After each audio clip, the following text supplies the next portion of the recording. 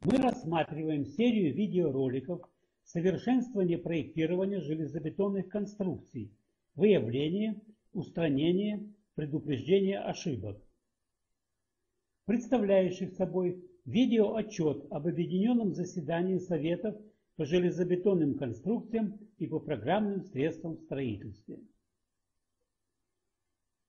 Это пятый ролик серии, представляющий третью часть моего сообщения на заседании Советов.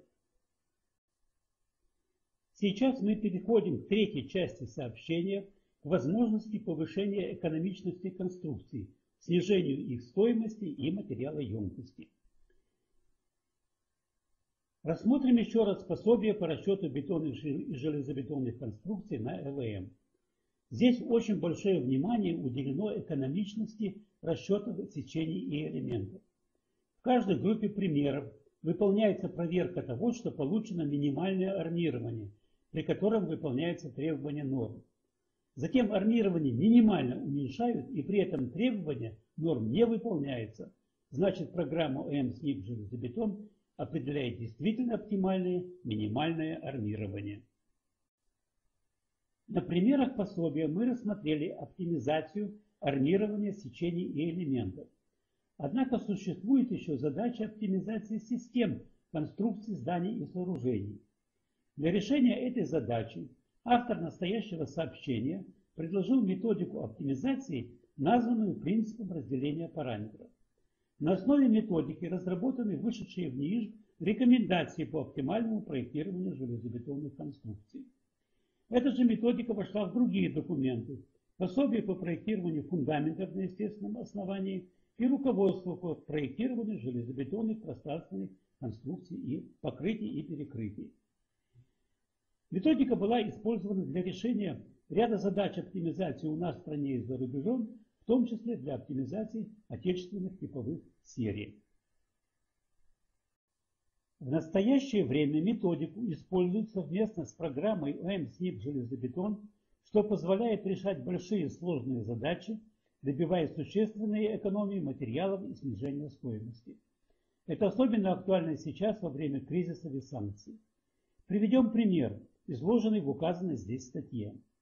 Несколько лет назад мы принимали участие в проектировании достаточно сложного здания, сейчас уже построенного на шоссе энтузиастов. Здание состоит из двух многоэтажных корпусов, соединенных между собой переходами. Проектировании принимали участие четыре организации. Моспроект-2, Промстройпроект, НИИЖБ и наша организация. В нашу задачу входила оптимизация колонн. Особенностью колонн было то, что в них наряду с гибкой арматурой использовалась также жесткая арматура в виде металлических слябов. Задача оптимизации ставилась следующим образом. Необходимо было разделить группы колонн на ярусы с одинаковым армированием и в каждом ярусе найти соотношение между гибкой и жесткой арматурой таким образом, чтобы минимизировать расход металла при этом, конечно, должны были выполняться все требования норм. Такая задача была решена, и по сравнению с начальным приближением, предложенным промстройпроектом, удалось добиться экономии стоимости порядка миллиона долларов США.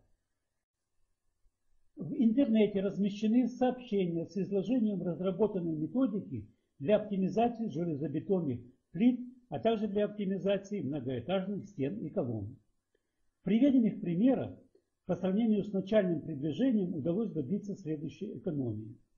Для железобетонных плит экономия стали составила 25,6%, для железобетонной многоэтажной стены экономия стали при числе ярусов с одинаковым армированием 3, 5 и 10 составляет соответственно 12,8, 24,9 и 35%.